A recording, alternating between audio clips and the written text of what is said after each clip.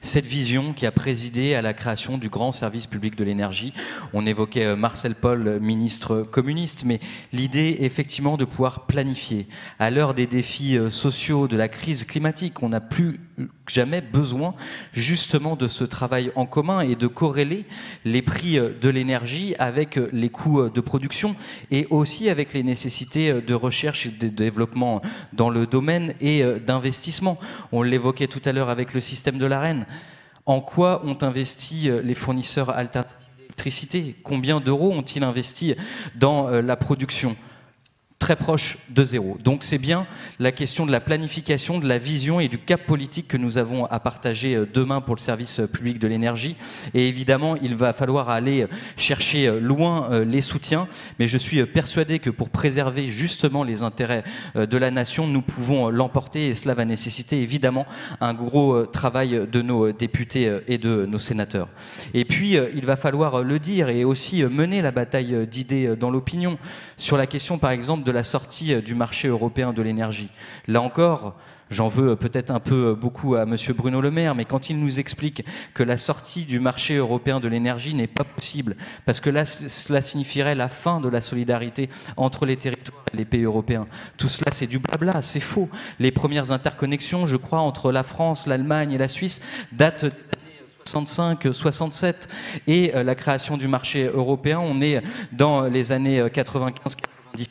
Donc on voit bien aussi qu'il y a des fake news qui sont diffusées euh, dans l'opinion pour nous empêcher d'entrevoir une alternative heureuse à la situation euh, que nous euh, connaissons. Et nous avons besoin, j'en suis persuadé, de réformes heureuses dans ce pays. Nous avons besoin aussi de visions stabilisées, loin des stop and go que nous avons connus ces derniers mois et ces dernières années. Quand on voit la prise de position du président de la République et de ses ministres qui nous expliquent qu'ils sont désormais les grands défenseurs du euh, nucléaire et qu'ils veulent le développer. Mais après combien d'années à s'être acharné à le casser en fermant des outils de production qui fonctionnaient d'ailleurs très très bien? Et donc la période des faux semblants est terminée, il va falloir qu'on se dise clairement les choses, et aussi à gauche d'ailleurs il va falloir qu'on se dise les choses. Il va falloir dire aussi que, effectivement, si on veut affronter le défi climatique de demain, nous avons besoin d'un mix énergétique nucléaire plus renouvelable. Ça, il faut qu'on ait le débat. Il faut qu'on ait le débat à gauche, il faut qu'on aille voir nos amis écologistes, qu'on aille voir nos, amis insoumis, nos autres partenaires à gauche, et qu'ils nous expliquent comment on fait du 100% renouvelable aujourd'hui dans notre pays pour satisfaire les besoins. Surtout quand on nous explique qu'il va falloir arrêter les véhicules thermiques et passer tout ça à l'électricité. Alors, quand il fait pas très beau, qu'on est la nuit, je ne sais pas comment on fait euh, fonctionner ce pays. Donc on voit qu'on a une bataille d'idées. Il va falloir qu'on ouvre en grand euh, le sujet et surtout qu'on donne de la visibilité. Visibilité, je, tourne un peu autour de ce sujet parce qu'on l'a vécu avec le nucléaire, avec euh, des fermetures d'outils de production qui fonctionnaient très bien et puis on nous dit maintenant qu'il va falloir en construire d'autres, c'est tant mieux. Mais on l'a vécu aussi ici dans notre territoire avec la centrale de Cordemais. Je salue les salariés de la centrale de Cordemais ont obtenu une victoire stratégique sur le sujet avec la question de la transition écologique de leur outil de production. Je me rappelle encore d'il y a quelques années où on se battait contre les mêmes représentants, notamment du gouvernement actuel, de La République en marche, de leurs députés dans les territoires, qui nous expliquaient que oh, ce projet-là, qui était soutenu par les salariés, leurs organisations, par euh, aussi euh, la direction de NEF, il ne fallait pas en entendre parler, que cette centrale était vouée à la euh, disparition. Des fois, en tant qu'élu communiste, je vous l'avoue, je me sentais bien seul avec mes camarades de la CGT à soutenir ce projet, qui était pourtant d'intérêt commun et qui permet de préserver des emplois sur le territoire qui est aussi bon pour préserver l'approvisionnement énergétique du territoire, qu'il est bon pour l'emploi sur le département et même bien au-delà. Donc c'est de vision dont on a besoin, c'est d'un cap clair. Et aujourd'hui, nous en manquons tant. Donc il est temps évidemment que nous puissions nous mêler de tous euh, ces sujets. Nous continuerons euh, d'être impliqués, mais je pense aussi que nous avons besoin de se dire les choses, notamment sur le mix énergétique de demain. Parce qu'on ne peut pas euh, confondre électricité nucléaire et renouvelable, et pilotable pas pilotable. Il faut aussi qu'on écoute euh, les professionnels du secteur. Il faut aussi qu'on fasse confiance un petit peu à la science et au discours rationnel à gauche euh, dans ce pays et que nous assumions justement euh, cette vision. En tout cas, pour ma part et pour ce qui est des camarades communistes, nous assumerons ce cap. Nous allons avoir des débats très importants. Nous pourrons et vous pourrez compter sur le soutien évidemment de nos amis dans le domaine. Mais derrière, c'est bien un sujet éminemment important qui est sur la table. C'est la question de la reprise de la souveraineté euh, sur ce sujet euh, stratégique. On ne peut pas euh, laisser notre pays et les prix de l'électricité aux mains de la dernière centrale à gaz qui est sortie en Allemagne ou ailleurs. Ça, ce n'est évidemment pas possible. Et puis, c'est la question aussi de la compétitivité de nos entreprises.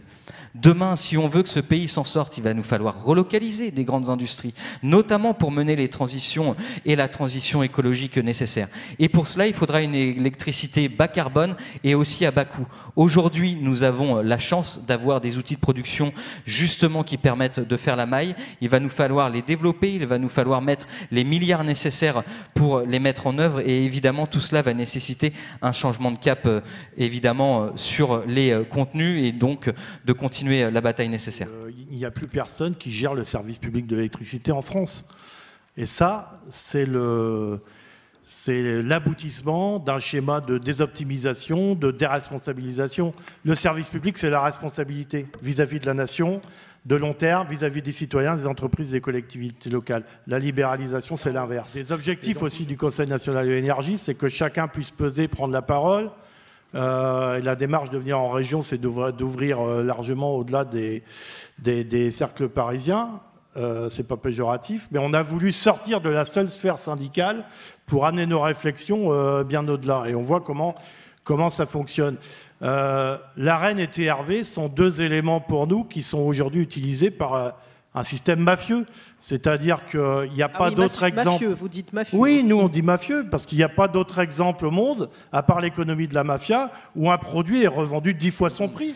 Peut-être euh, une, une, remarque, c'est que la réalité face à l'envolée euh, des euh, prix de l'énergie, elle touche tout le monde, tous les Français, et quelle que soit d'ailleurs notre fonction, notre métier, elle touche aussi bien les particuliers, les entreprises, on l'a vu avec la situation des boulangers mobilisés hier, et bien évidemment aussi les collectivités.